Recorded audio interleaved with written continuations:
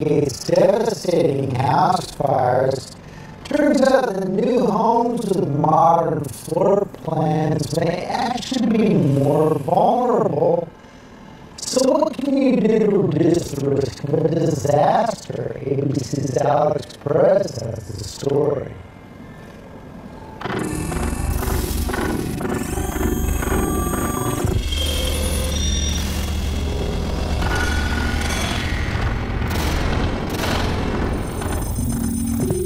Raging flames ripping through your home. A terrifying sight we all hope we'll never have to experience. Just last week, a five alarm fire destroying this apartment complex in Edgewater, New Jersey, leaving more than a thousand people without homes. That fire ruled accidental, but experts say fighting fires now more challenging than ever before. The firefighter's work environment has changed.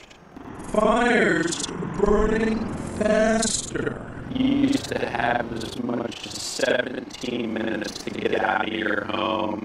Now we're looking at three minutes or less. Experts point to the synthetic material in our homes as one reason.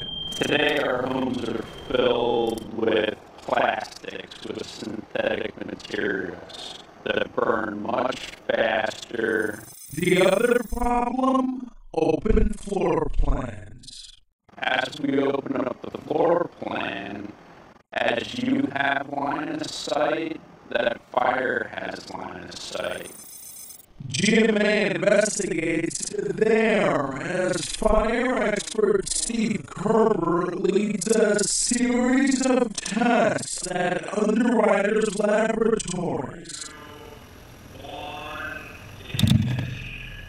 to determine how firefighters can better battle blazes. On this day, testing scenarios on two different